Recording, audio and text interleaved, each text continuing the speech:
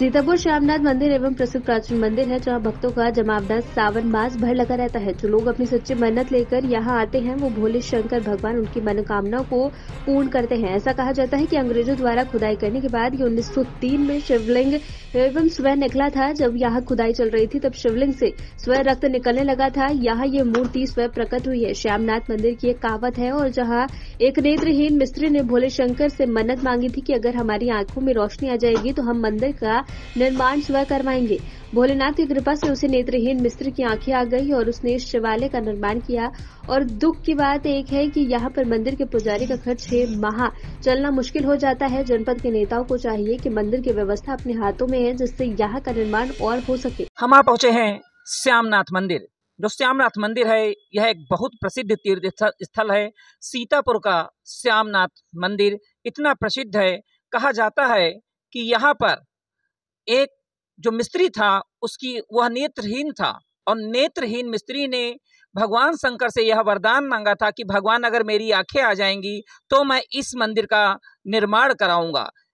जब भगवान शंकर ने उस मिस्त्री की आँखों का जीवन उद्धार कर दिया, भगवान शंकर ने उसके नेत्रों में रोशनी प्रदान कर दी तो उस मिस्त्री ने इस संग, जो यहाँ श्यामनाथ बाबा हैं, इस श्यामनाथ मंदिर का निर्माण कराया।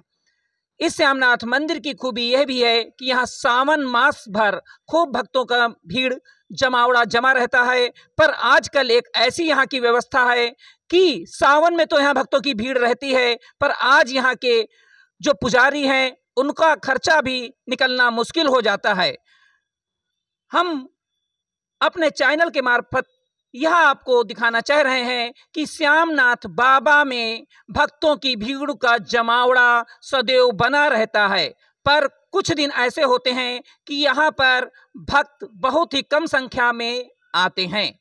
एक्सप्रेस न्यूज़ भारत से सुरेंद्र तिवारी और पंकज की रिपोर्ट, कैमरामैन खुशी राम चौधरी। निकली भाई लाठ है श्यामनाथ बाबा, बहुत मान्यता प्राप्त है। एक जवाहर मिस्त्री थे, उनके नेत्र नहीं थे। वो मतलब जो है, जब मंदिर के अंदर गए तो कहें भोलेनाथ, हमारी आँखें आ जाए, तब हम स्वयं अपना मंदिर का निर्माण करेंगे मतलब जो है। जब वो बाहर निकले तो उनके नेत्र दिखाई पड़े लगा सब। सब दिखाई पड़े लगा तो वो जो है, स्वयं उन्होंने मंदिर का निर्माण किया मतलब। पहले तो अंग्रेज़ लोग आए, खुदाई किए मतलब जो है। तो यहाँ खून की धार निकली। जब फड़ुआ चलाया उन्होंने, जब खून की धार और बरैया बरौआ सब निकल पड़े मतलब तो उन्होंने सब छोड़ के चले गए। जब छोड़ के चले गए, तब वो जो है, ये लाट निकली हुई। बहुत मान्यता प्राप्त श्यामनाथ बाबा की है। लेकिन यहाँ अभी तक कोई निर्माण नहीं मतलब हो पा रहा है। दुनिया के मंदिर चमक गए, लेकिन भोले बाबा का ऐसा मंदिर है, वो अभी यहाँ का कोई सुधार नहीं हुआ मतलब। तो हम यह बहुत मान्यता प्राप्त है मंदिर की। यहाँ के नेता इस पे ध्यान नहीं दे रहे हैं इसके हाँ। क्या कहना चाहेंगे? कि कौन तरीके से इसका ध्यान नहीं दिया जा रहा और यहाँ यहाँ के नेता लोग जो है पैसा आता है हर जगह मंदिर का पैसा आता है लेकिन यहाँ का मतलब कोई नेता ऐसा है कोई सुनते नहीं है। कोई भी नहीं सुनता है कि यहाँ मतलब जो है टूटा फूटा बना बिगड़ा जो है ये सब कार्य कराए मतलब जो है। तो अब बस जो भी है हम लोग हैं। जो भी आता है जितना हो सकता है वो करते हैं उनकी सेवा में लगे हैं।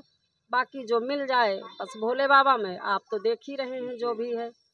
तो ये है श्यामनाथ बाबा का मंदिर है दूर दूर से भक्त आते हैं। बहुत दूर दूर से मामता उनकी भोले बाबा पूरी करते हैं। तो इसीलिए अपने आते हैं पूजा करते हैं चले जाते हैं। तो बहुत प्राप्त मंदिर है भोलेनाथ का नाम? नाम हमारा है कमला गोस्वामी।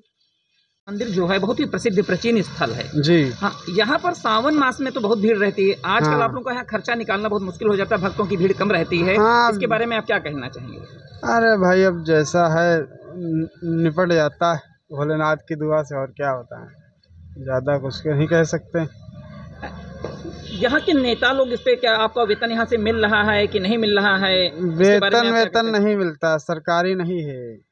ये हमारे बाबा लोग थे चार पाँच भाई लोग वही वो सब लोग एक्सपायर हो गए तो वही हम लोग देखते हैं चाचा ताऊ में। आप लोग सदैव से पुरोहित रहे हैं यहाँ के श्यामनाथ बाबा के क्योंकि आपका परिवार गोस्वामी परिवारों से रहा है। जी जी। हाँ, इसके बाद भी यहाँ सरकार पूरी तरीके से इसको व्यवस्था नहीं कर रही है कि कुछ ट्रस्ट के मार्फत या आप लोगों का खर्चा कम से कम यहाँ जो साल भर है ये निकल सके इसके लिए आप क्या कहना चाहेंगे? यहाँ के हाँ ध्यान तो देना तो चाहिए लेकिन अब क्या किया जाए नहीं कर नेता लोग नेता कोई भी हो नहीं ध्यान देता है इन चीज़ों का।